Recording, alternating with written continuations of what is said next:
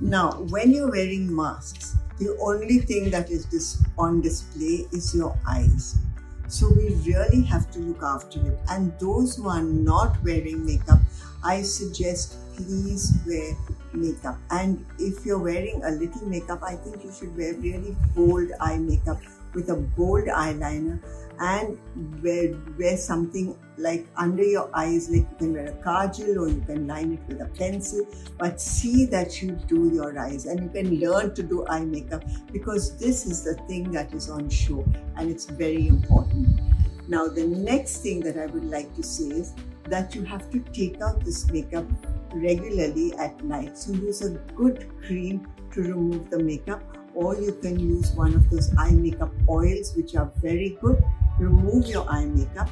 After you've removed your eye makeup, use an under eye cream, a cre- under eye cream, and give yourself a light massage. So you're going to just apply it all over there and massage inwards. Here you go outwards and inwards and use your ring finger for the massage. This is important. So you're going to tap. After that, I would like you to just massage the bone like this and the bone like that and then pinch up. Okay, so this is an important thing. After that, of course, while your makeup is on and right through the day, in fact, I would like you to do eye exercises because and that those exercises should be done at least once an hour or once in 20 minutes you know so what one very simple one is just heat up your hands like this it really helps the tired eyes, which, you know, you, because of all the phone, the electricity, the gadgets, you are going to get tired eyes. And then just apply it like that.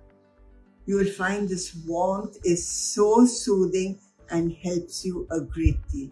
The other thing, another thing that's, you know, a problem during these days is dry eyes. Because again you're always on your computer always on your phone.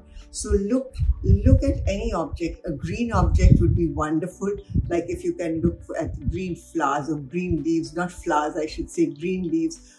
And if you don't have that just look at a blank wall straight and just blink.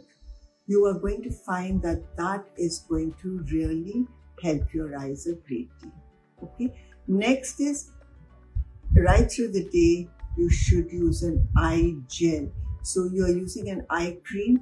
At night, use an eye gel because an eye gel is going to keep that area moist and it's definitely going to help dark circles if you have it.